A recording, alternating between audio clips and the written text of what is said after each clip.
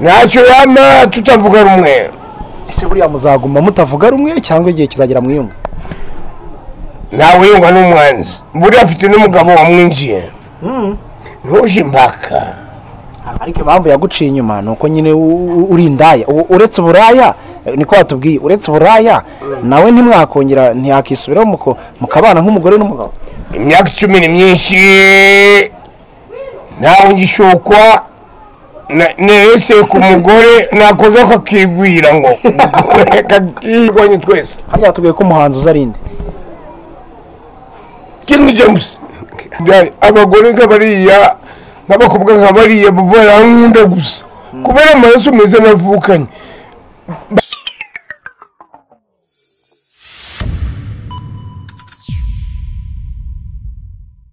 Yesi reka tubasuhuze tubifuriza gukomeza kugira ibihe byiza cyane abari mu rwanda bari muri diaspora ndetse no hirya no hino ku isi waba uri umunyarwanda cyangwa se uri umunyamahanga. Utuye mu rwanda cyangwa se utuye hanze y'u rwanda reka tugusuze cyane tukwifuriza gukomeza kugira umwaka mushya muhire. Kuzagira umwaka mushya muhire wa bibiri na makumyabiri. Njyewe nitwa masunzu iyi ni tageti tv dushimira cyane wamaze gukora subscribe. Turi muri gahunda zo kugenda tuzenguruka hirya no hino mu gihugu cyacu cy'u rwanda tugenda dusura abantu bagiye batandukanye babayeho mu buzima bugiye butandukanye. Uyu munsi wa none turi ahantu hitwa i musanze. I musanze mu birunga twahoze tubona za karisimbi za muhabura tubona bya birunga byose mugiye muzi. N'ingagi twazibonye tuzazibereka namwe. Ariko hari umugabo turi kumwe nawe muri uno mugoroba. Eh, reka ahita twibwira direct ndumva afite courage. Bwira gutya ngufashe ntagufatiye nta kibazo. Muraho neza ndabasuhuza mwese. Nitwa nitwa muziranenge moshi dayan alias papafu pafu pafu ubundi a- avuka yari afite imyaka ingahe? Navutse mirongo itanu n'icyenda ndi muzehe rero ubundi se igihumbi kimwe magana cyenda mirongo icyenda n'icyenda. Nibyo koko imvugo niyo ngiro. Oya ntabwo wavutse muri mirongo icyenda n'icyenda. Mboka mbikwereke noneho nkwereke irangamuntu yanjye reba nguhaye perime kumaye provisoire se yego reba imyirondoro yanjye eka ndebe wavutse muri mirongo itanu n'icyenda. Nibyo koko imvugo niyo ngiro hanyuma ngo uri umuntu ukomeye cyane hano i musanze bose barakuzi Eh, ndi umunyamakuru nari umunyamakuru w'akagari. Nari umunyamakuru w'akagari. Nabaje n'abamahimbo kumi banzamurira kubera nta kosa ryanjye. Ntari byanjye n'igihugu. None se ubu uracyari umuyobozi. Ni byo koko n'urundi w'intara rpr none se pafu pafu ubundi ubundi uvukaho nyirizina uri uwinaha i musanze? Eh, data na mama mama avuga igitarama aho bita kuri teritwari kera ariko yapfuye ntazi iwabo. Ninjye muhungu mu bakobwa barindwi barapfuye hasigaye umukobwa we mushiki wanjye atuye igisenyi ku mbuga ngari. Hanyuma wowe se ufite umugore n'abana? Mfite umugore n'abana batandatu bakuru mfite n'urugo ndubatse nta kibazo. Nta kibazo? Bariga nta kibazo. Umugore wawe aheye n'abana?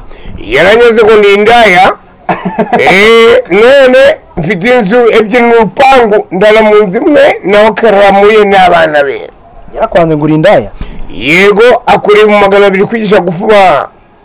Mu kinigi agaburira abana nta kibazo ntabwo nazana iby'imanza ngegeye naremereye nk'igicucu niryamira mu nzu ayo mbonye yanjye na yo kwisana nta bindi byinshi na yo kwisa none se koko uri indaya ni byo ndindaya koko ntawe namurenganya abagore bankunda ari benshi. Nibyo nadatari indaya yarafite abagore umunani. Nibyo koko imvugo niyo ngiro.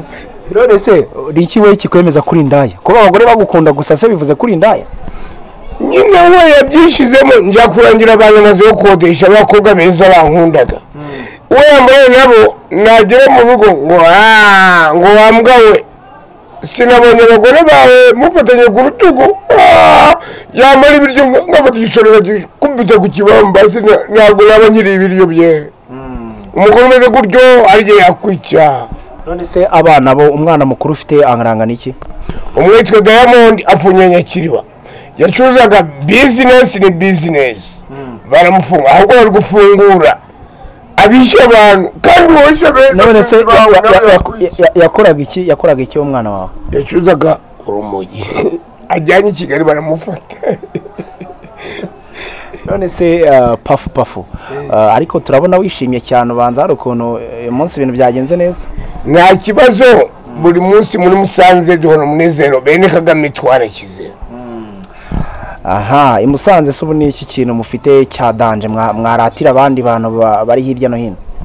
Muri musanze dufite ibirayi. Nta kibazo ariko twabuze ibishyimbo.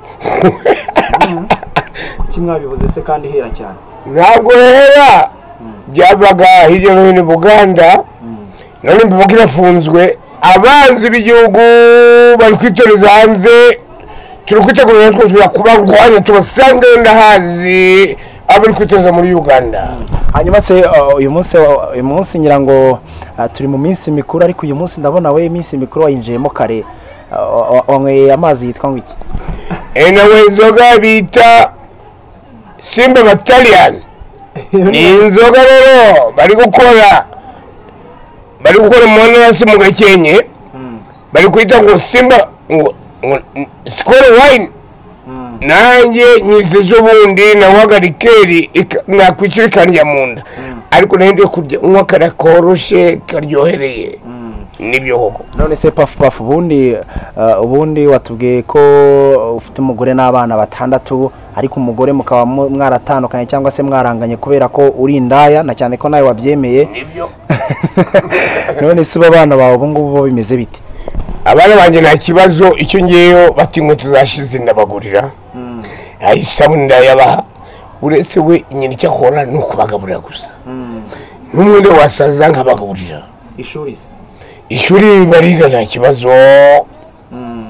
Nta kibazo n'ubundi bose baratsinze ejo bundi barajya mu yandi mashuri muri za sogondere hejuru none se pafu pafu amafaranga uyakura he ko bigaragara ko ushobora kuba ujya ujya wirirwa wisomera akantu gusa amafaranga yo kugura isabune inkweto ava he ngewe rero nubatse izina ndangamaze akodeshwa nagurishwa n'ibibanza ubu ntawe ukigura ikibanza ntawe ukigura inzu ngo ni ama etaje iyo bavuze ama etaje ubu twarahagaze abakomisiyoneri ngewe ndanga yo gukodesha gusa niyo ndiraho guhaguruka ni bibiri kuri biro yanjye hano kwa kajisho mu rya gatandatu akarya magana atanu kubera aderesi nanjye nkariya icyatanu na nyine inzu yankubita bibiri? Nayo.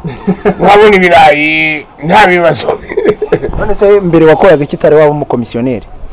Natwaraga volomoteri nkara ngasanya za haje sama moto ndi shoferi ngateka amandazi amasambusa amazi isataguye neza n'isambusa nzi kuzikora za capati n'ubu nafata inzu nkabikora nkabona amafaranga.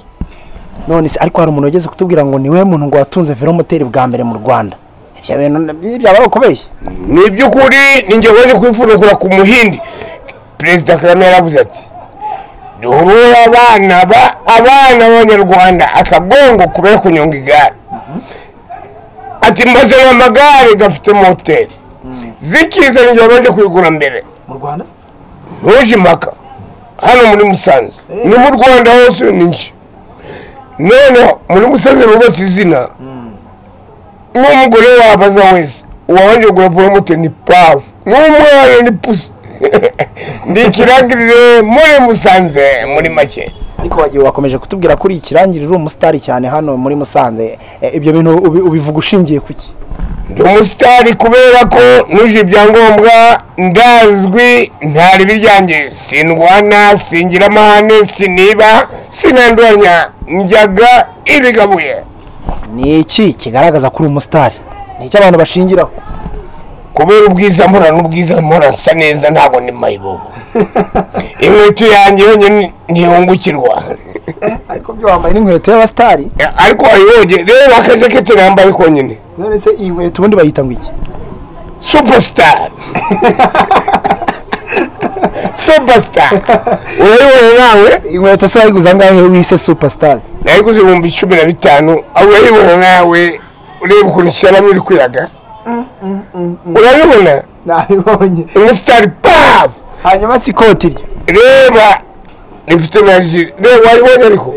Yala arapera ryo wariguze angahe iri koti? Iri koti nari- narishonesheje ibihumbi birindwi. Igitambaro cyonyine reba kirahenze. Reba ihari ririmo. Uremeye kabisa Ya- none se ubundi pafu pafu batubwiye ko wambara neza kuri umusitari ubu niyo wambaye ibintu byose kuva ku nkweto kugera ku ikoti. Ubu uhagaze amafaranga angahe? Eh, cyakora hamagarare hano. Byose ibyo wambariye byose.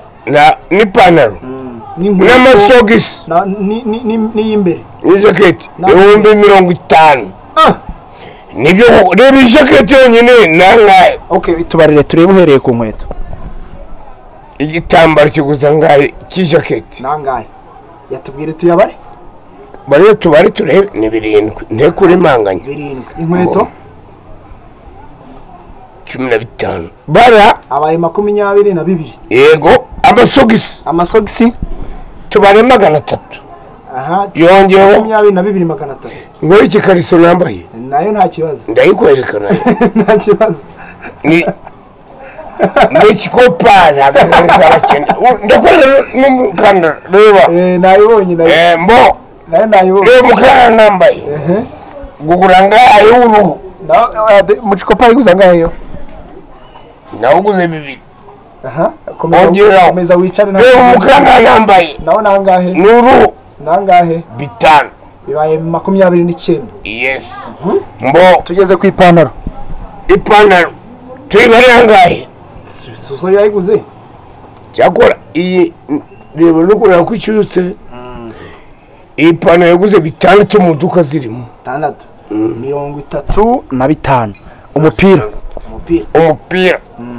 Reba wanditseho nagiye mu bushinwa wanditseho ngo iki soma. Twumve wowe nkuriye soma wanditseho ngo ikirimo abanyabwenge abinyara yari nde mukuru.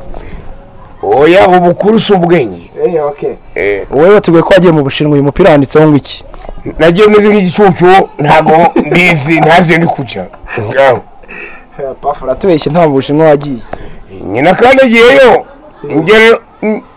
ku nyanja y'ubuhindi ndagaruka ndi kuvugana n'abahindi n'umwirabura nahuye na madame mayi sinabura icyo kurya n'icyo kunywa buri munsi ariko twumvise byo bihagazeho ni menshi cyane. Hanyuma se umwana wawe ko turi mu minsi mikuru abana bawe bo urimo urabategurira iki? Eh, hari agahene nateguye mfite ihene eshanu mu rugo noroye. Mfite n'imbata nsabaga imbata nawe agahene kamwe. Ndagira mbishyire umugore nubwo tubavuga rumwe aro fati eh, ni bwo nyita inari bagira abandi mbata nk'uko nazira nkoko nk'uko uyu nawe ara- arakabaze buriya. Ndamubwira nti baga agahene kamwe. Nawe. imbata abana bishime ni purawu imyenda ya noheli se kutayibaze abana kuri noheli bakwiye kuba basa neza? Bafite imyenda myinshi. Bazambara baza iramishi barayiteguye ejo. Nta kibazo. Nta mishyashya yabagurira iyo bafite iramishi. Iramishi imishyashya bafite ni myinshi. Kuri inzara mwana wa mama wowe uri kubona amafaranga ari hehe? None se umugore nta ntaragatenye uzamugurira agashyashya. Umukore mu magana abiri. Ngewe ndi kuranga inzu y'icyumba na salo ibyumba bibiri na salo nkabona bibiri ngo mugure igitenge umukore mu magana abiri ukomeye ninde? Ah. eh byumvikane ko we azakugurira agakoti. Ntacyo yama tutavuga rumwe. Ese buriya muzaguma mutavuga rumwe cyangwa igihe kizagera mwiyunga ntawe yungwa n'umwanzi. Buriya afite n'umugabo wamwinjiye. Ntuje impaka. Urabona se?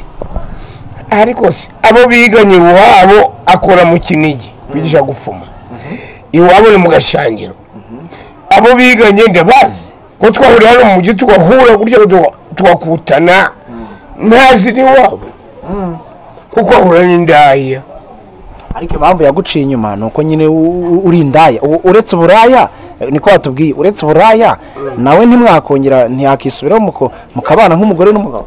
Imyaka icumi ni myinshi. Ntawe ngishukwa nese ku mugore nakoze kakigwira ngo ni byo da imvugo niyo ntabwo mbabeshya narahuzwe muri make. Uheruka kubonana nawe ryari? Imyaka icumi kandi umugore w'isezerano ureba twazajya no ku murenge. Reba wewe urushako. Nereka bisi nawe nanjye ba- bamfunge. Uwapfuye umugore w'imisatsi. Simwabibonye eh mukubita ibuye ave amaraso bamfunge nsazi iri muri pirizo ah kagomba se nirikiraye mwihorera. Ndareshya ntabwo uretse ko mfite abana ndi kurwana n'iki ndi kurwanira iki? Ariko nabonye hari ukuntu uba wasize inzara ubanza uri umusirimu cyane. Nibyo koko urambona umwana w'umujyahora ari simati reba wambonye? Nonese inzara. Inzara kuzisiga uri umugabo. Hari abantu bavuga ko ataba ari byo ngira ngo nk'uko abagore nyine yavuze ni indaya abagore nk'abariya n'abakobwa nk'abariya baba barankunda gusa. Kubera amaraso meza navukanye. Bakamfata bari kwisiga bakansiga ngo pafu abagore nibo bagusiga. Eh, ni ho wanja arye wasige wanja noneho nabashimanye baransigaga kera Eh, ndari- reba umuhungu umwe mu bakobwa barindwi ni nk'icyana cy'ingagi mpeta n'igi bakarima Eh, mukati bakawunzanira reba kuvuka uri umwana umwe w'umuhungu mu bakobwa barindwi buri wese ameka bibashyigiye wanjye bajya ku karo kubera umunezero ngo tumenye agahungu na mama uwishe mama amarira y'umugabo atemeshe mu nda nyuje impaka hanyuma se wenda reka reka reka turebe ah, hano i Musanze. Hmm? hano i Musanze haza abakerarugendo benshi haba ingagi haba n'ibindi bintu bikurura ba mukerarugendo. Wowe wari wabona ku ngagi? Eh, ingagi nayibonye najyagayo iyo bagiye kwica ingagi nkajyayo na mikoro nkamamaza. N'abantu bagakina kuruse y'amagare mbere yo kwita ingagi. Njye najyagayo ndi umunyamakuru najyagayo na mikoro nkahuriza abaturage babo bose bakaza. Ingagi nayibonye n'ukuntu zikina imbere yacu byose arabibonye. ibyiza bidukikije bikije u rwanda ingagi! Ariko wakomeje kugira uvuga ngo uri umunyamakuru uri umunyamakuru. Ngiye kuguha mikoro. Nawe noneho umbaze. Witware nk'umunyamakuru umbaze nk'uko nawe ndi kubaza yego. Niko mugenzi wanjye. Nitwa masunzu umunyamakuru mugenzi wanjye witwa masunzu. Ngiye kukubaza. Utuye he? Ntungaho mikoro mbikubwire utuye Iwa- ntuye i kigali. I kigali hagaye ku gisozi. Eh, nanjye ntuye muri musanze. Yego. Nkaba mvuka mu benshi mu mviro ya gatanu. Aha. Nkaba ndimo ndagana nawe w'umunyamakuru. Yes. Hanyuma nk'umunyamakuru tubwire nyine amakuru agezweho i Musanze ah, mu- masegonda makumyabiri. Hano muri musanze rero jya ushyira mikoro hano gutya. Eh vuga gutya. Vuga yegereye. Eh. gutyo dufite umutekano usesuye. Umwanzi watumiwe mutwamwica turi maso. Ngira ngo minisita ejo bundi yageze ino. Ati "Na- ni amahoro n'abaturage bose banyarumva amakuru bambwira ngo yarababwiye ati ni umutekano. Uretse ko hari abasenzi baje ejo bundi mu kinigi ariko butwara bakubisha amasasu basubirayo. Izo ni hadui dudui tutazipiga amasasi asante sana kabisa. Oya, uri umunyamakuru tuzaguha akazi kabisa. Ariko rero hari ukuntu watubwiye ko wowe uri umusupasita abahanzi si ibintu by'abahanzi ujya ubikurikirana Eh, ibyo bahanzi na byo ndabizi. Eh, hano hari igihe baje hano kuri etaje bari kuririmba. Kumbereshi kambereshi hari haje abasore benshi. Baririmbaga iyo ndirimbo? Ngo ntabwo nyibuka neza ariko ngo kabereshi kubereshi nyamuremure kubereshi ubwo uretse iyo natoraguyemo uretse iyo baririmbaga icyo gihe se hari n'indirimbo uzi ngo turirimbeho gatoya indi iyo ari yo yose? Oya nta yindi uretse indirimbo umutekano wose muri musanze. Hanyuma ah, wakomeje kugenda utubwira ibintu byinshi bigiye bitandukanye. Turimo turi hafi kugera mu minsi mikuru ah, imwe n'imwe twaranayitambutse.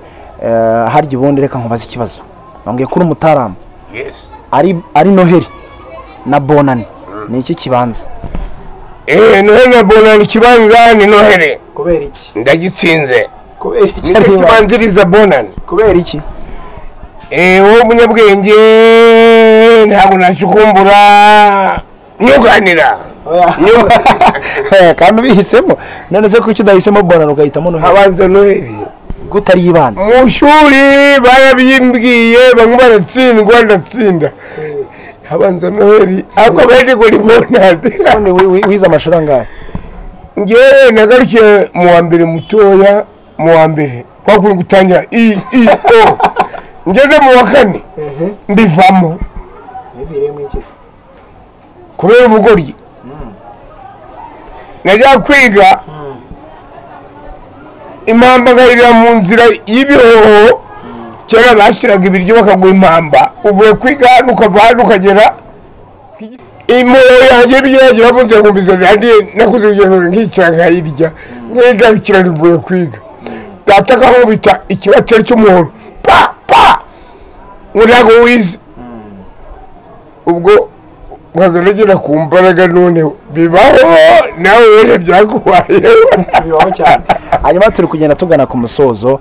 Ah, ni- iki wabwira abantu muri iki gihe tugiye mu minsi mikuru? Ni ubuhe butumwa wagenera urubyiruko muri rusange? Nk'umuntu ukuze.